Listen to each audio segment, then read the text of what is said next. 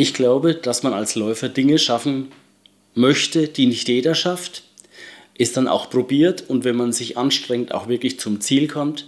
Und dann kann man auch stolz auf sich sein und sich mal auf die Schulter klopfen und sagen, Günther, das hast du gut gemacht, auch wenn die Zeit nicht so bombig war, aber dabei sein ist alles.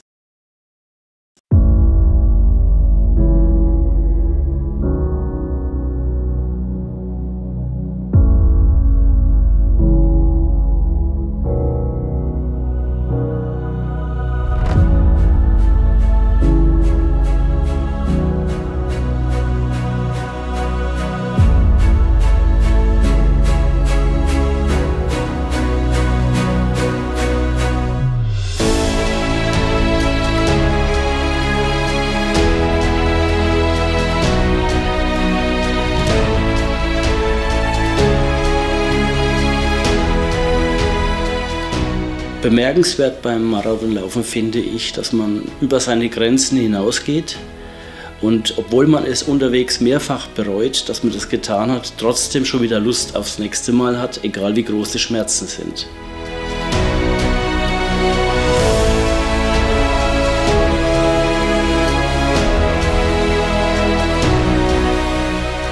Also unser Ziel ist eigentlich jedes Jahr aufs Neue dass wir danach sagen können, das war die schönste Veranstaltung, die wir jemals auf die Beine gestellt haben. Und das schaffen wir glücklicherweise auch.